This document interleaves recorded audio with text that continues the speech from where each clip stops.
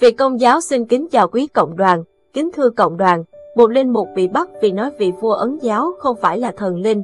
Một linh mục công giáo tại Ấn Độ bị bắt nhưng được tại ngoại hầu tra, sau khi nói một vị vua tại Ấn Độ hồi thế kỷ 17 là anh hùng quốc gia, nhưng không phải là vị thần. Hôm mùng 5 tháng 8 vừa qua, cảnh sát tại Ấn Độ đã nhận đơn kiện chống cha Bo Makpere cha sở giáo xứ thánh Francisco Xavier ở Chicalim, thuộc tổng giáo phận Hoa.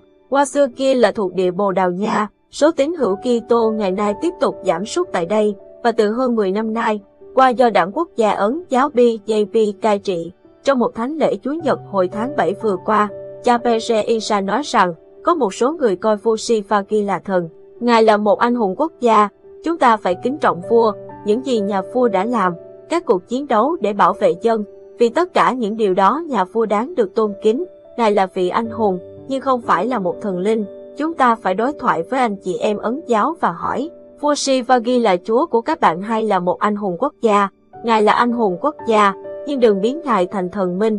Chúng ta cần hiểu quan điểm của họ. Nếu chúng ta sống trong sợ hãi thì sẽ không trỗi dậy được. Những lời trên đây được nhiều người truyền đi trên một YouTube và những người ấn giáo đã đề đơn hôm mùng 5 tháng 8 lên cảnh sát để kiện cha Pere Isa. Nhiều người biểu tình trước trụ sở cảnh sát và yêu cầu bắt giam cha vì tội xúc phạm đến tình cảm tôn giáo của họ. Cảnh sát ở qua chuyển đơn kiện lên tòa án, đồng thời nói rằng không cần phải giam giữ cha Bon Makpere Isa vì vụ này.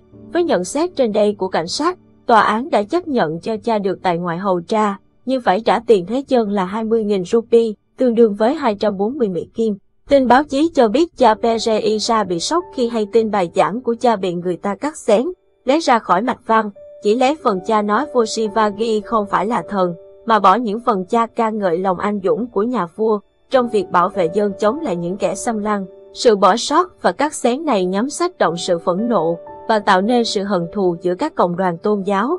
Cha các sức ra các dòng tên nổi tiếng về các hoạt động bên vực nhân quyền nói với hãng tin công giáo CNA ở Mỹ rằng vụ này chứng tỏ những thành phần ấn giáo quốc gia chủ nghĩa không bỏ lỡ cơ hội nào, dù là nhỏ nhất, để vu khống và mạ lị các tín hữu Kitô. Điều cha Bere nói về vua Shivagi là đúng, là một đại vương, anh hùng quốc gia, nhưng không ai với cái nhìn đời coi vua là một vị thần. Đây là ví dụ rõ ràng cho thấy những thành phần ấn giáo cuồng tín không bỏ lỡ cơ hội thái cực hóa xã hội.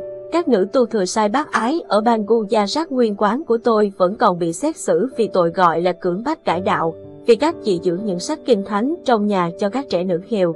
Những người ấn giáo cực đoan ấy có những tiêu chuẩn khác biệt về mọi sự. Một số người trong họ gọi tên Nathu Ramgokse là thần, mặc dù hồi năm 1947 tên này đã ám sát Mahatma Gandhi, được coi là người cha của quốc gia Ấn. Họ đã xây dựng đền thờ cho tên này